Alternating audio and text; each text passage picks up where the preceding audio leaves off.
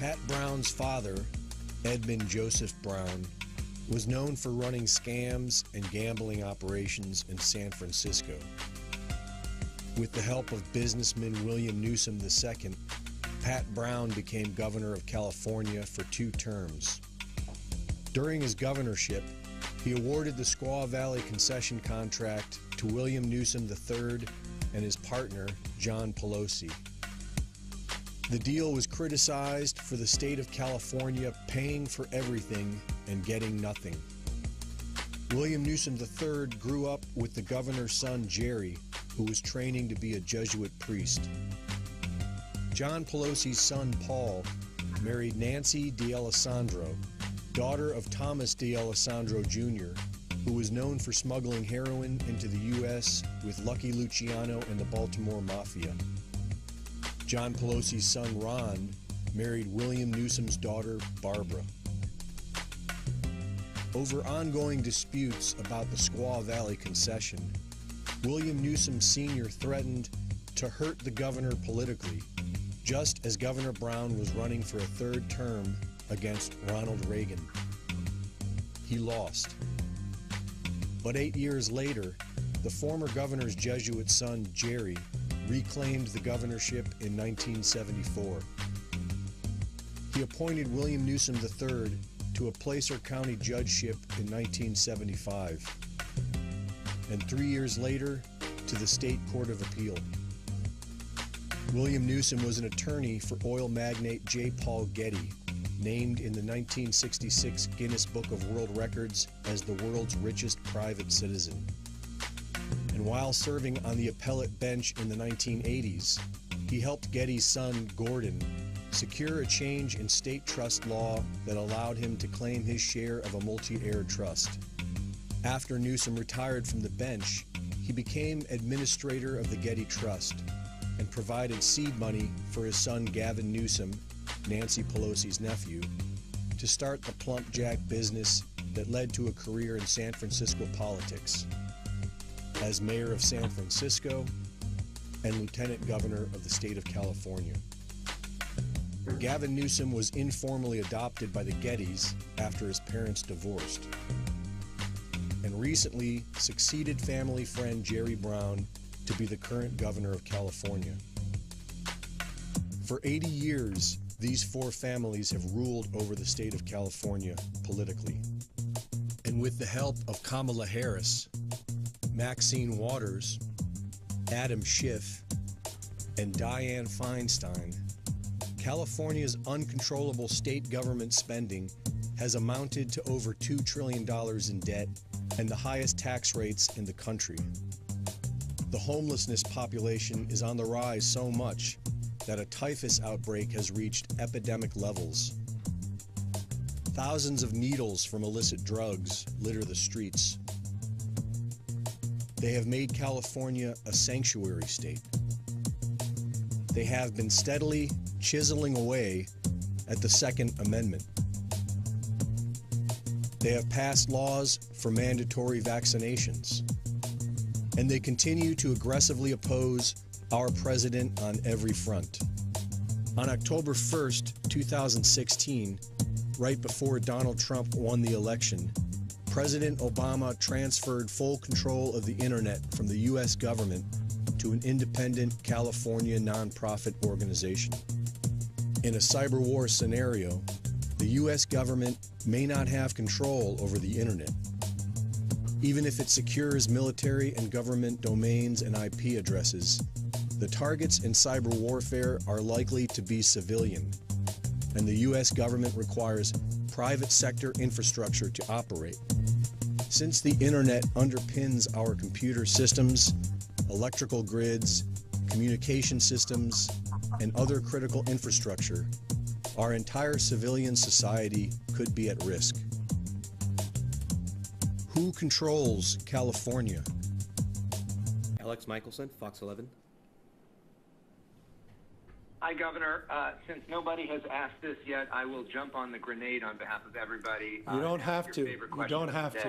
I'm curious uh, if you are watching the RNC and if you had a response to your ex-wife who said in prime time the other night that California is a land of discarded heroin needles in parks, riots in streets, and blackouts in homes.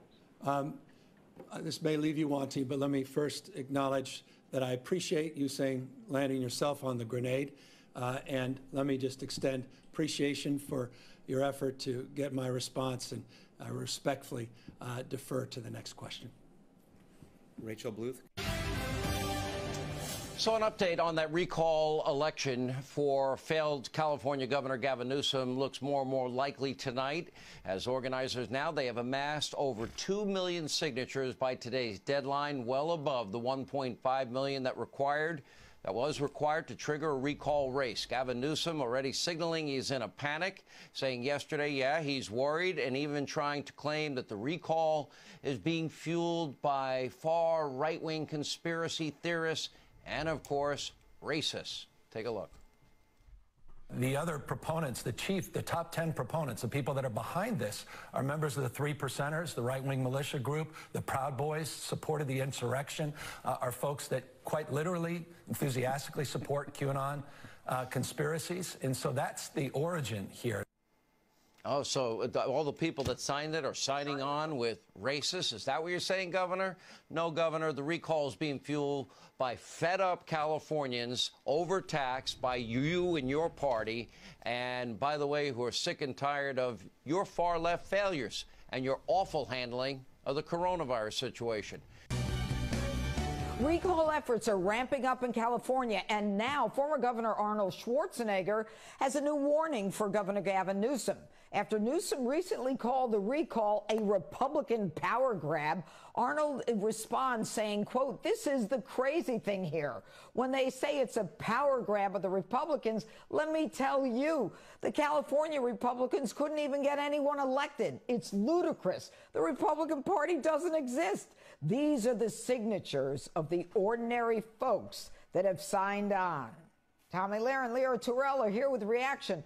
All right, Leo, uh, it sounds like uh, Schwarzenegger knows of what he speaks, having been brought into office as a result of a recall nearly two decades ago. What do you think? This is the first time, Judge, I agree with the Terminator. Gavin Newsom has tried to characterize this as a right wing, racist move to get him out of office. He's lying to himself. This is Democrats, Republicans, Independents who are sick and tired of Gavin Newsom shutting down California. This was the first time, Judge, I wanted to leave California. When Californians look at Florida and Texas, they see the economy open, they see their kids going to school. And Gavin Newsom, the biggest hypocrite, goes to the French Laundry restaurant, lied on national TV, said his kids are in, in, in being homeschooled when they were in fact in private schools. This guy is incompetent to run the state of California. He should be recalled. I want to apologize to America because California has given you Gavin Newsom, Nancy Pelosi, and Kamala Harris. I apologize. okay, Tomi, what say you? Hey, listen, I actually fled California a year to this date because, unlike Leo, I understood I have to get the heck out of here. But you know what? Arnold Schwarzenegger is exactly right. These are average Californians from both parties who were saying, hey, listen, this state is being run into the ground. This is going to hell in a handbasket. And they realized it because of coronavirus and COVID. And they realized that their governor was a tyrant. But make no mistake, he's been a tyrant for years. And they've had Democrat tyrants for years. The state of California was in bad shape yep. long before coronavirus with the homelessness, the drug epidemic, the taxes, the regulations, a gas tax. I mean, my goodness, the state was failing before, and then coronavirus came in, and then he really got to be the tyrant dictator he always wanted to be. And Californians took a step back and said, I'm paying for this. I'm paying these taxes to live here, to be locked in my home, to not be free. And they said, you know what? Either we're going to get out or we're going to stay and fight. So congratulations to all you Californians on both sides of the aisle that decided to stay, decided to fight. You're going to recall him. Just please, for the love of God, put somebody in that's better, that believes in freedom. Amanda, give us one or two reasons why you want to recall Gavin Newsom. What, oh. what motivated you to get involved with this campaign? Well, uh, a lot of small businesses have shut down, some of them for good, unfortunately, and that's their livelihood. Very, very sad to see. A lot of people that, a lot of kids actually out of school, a lot of suicides um, have gone up quite a bit. but what did it for me was the SB 145 that he signed, uh, that children have no place having sex with adults, and, and, and just, I don't care if you're gay or straight, a child is a child. They should be able to have their childhood. Organizers of the effort to recall California Governor Gavin Newsom say they have enough signatures to trigger an election. That hasn't happened since the 2003 recall of Governor Gray Davis. Here's how a recall election works in California. The signatures go through several verification steps that will take some time. County election officials verify the signatures, then there's a period where voters can withdraw their signatures. And finally, the Department of Finance and Joint Legislative Budget Committee have a chance to review and comment on the results of the petition drive. Once all of those steps are completed, the Secretary of State will confirm to the governor and lieutenant governor that the recall effort has gained enough signatures to put it to a statewide vote. In this case, that number is 1.5 million. The certification will likely happen in September. The lieutenant governor is then required to call an election in the next 60 to 80 days, likely in late November. Anyone can run for governor in California as long as they are a U.S. citizen, registered voter, and pay the $4,000 filing fee. Also, the state constitution says that you must be a California resident for five years. In 2003, there was a total of 135 candidates on the recall ballot. Thanks to a legislation signed earlier this year, all California voters will receive a ballot in the mail, which is similar to the 2020 election. The recall ballot will have a total of two questions on it. Shall Governor Newsom be recalled from the office of governor?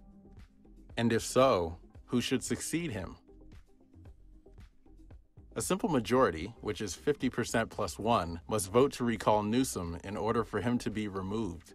In that event, the candidate with the most votes will be selected to finish out Newsom's term, which runs until 2022.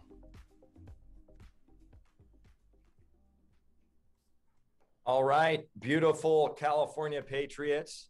Um, so so nice to have you guys here tonight for another. You may open Hold now. on. Gavin Newsom has saved California. Hey, you can open.